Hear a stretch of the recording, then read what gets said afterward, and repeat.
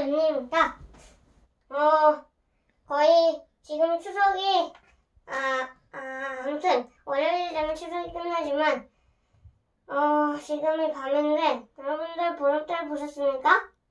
정말 멋있었습니다. 소원도 잘 보셨을게 바랍니다. 제, 저는 구독자 200만 명이 되게 된다고 소원이 됐습니다. 몇 예. 년이 흘러가든 열심히 하겠습니다.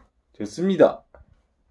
제가 좋아하는 앤 마리의 2002라는 노래를 들으면서 춤을 추겠습니다.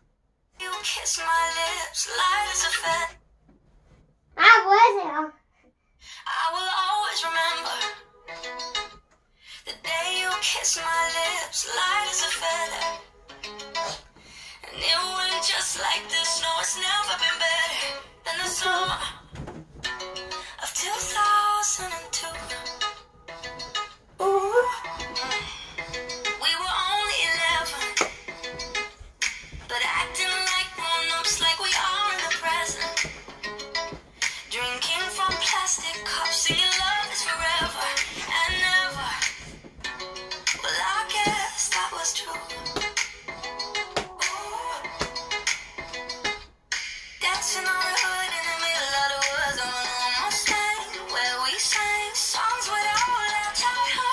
아, 너무 세게 때리면 아파.